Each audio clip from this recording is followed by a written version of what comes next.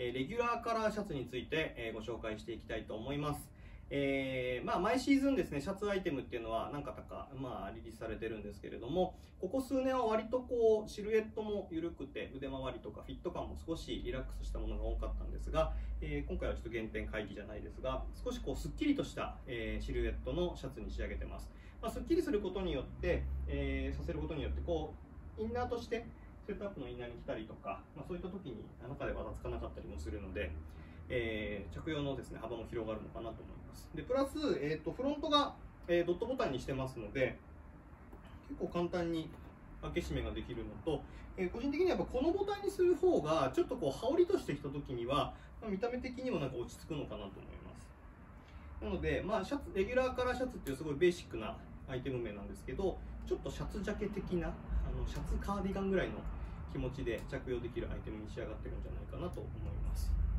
で、えっと、このアイテムを見たときにあのすごく襟の形が、えー、いいなというか立ち上がりがすごいいいなという感じに思いました、えっと、この辺りは多分すごくあのパターンのところでもこだわってくれてて、え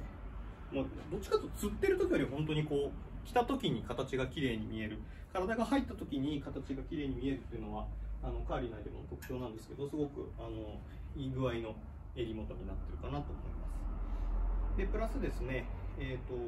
この袖回りなんですけど普通のシャツってとはちょっと違くてですね、まあ、カットソーの素材の特性を生かしながら、まあ、こんな感じで筒状、まあ、普通の T シャツみたいな仕様になっていてそこにこうボタンをつけて、まこのようにあの見せるような形に仕上げてます。でこれの何がいいかっていうとまあすごく簡単に取り外しができて詰めることもできるのと僕なんかはシャツ結構間違いなく腕まくって着ることが多いんですけどそれがこのまま引き上げてちょうどこうこの辺りで止まるようにこの辺も実はあのあえてこだわってちゃんとこう腕まくった時に止まるように仕上げてるっていうのがポイントです。意外とここがどんどん落ちてきちゃったりとかあの空間できすぎてあのなんかストーンとなっちゃったりとか。形が決まらないことが多かったんですけどこれは本当に T シャツ感覚で。しかもあの素材が割とストレッチ性もあるのであのいい感じにピタッと止まってくれるっていうのはすごくあの嬉しい要素かなと思います。でまああの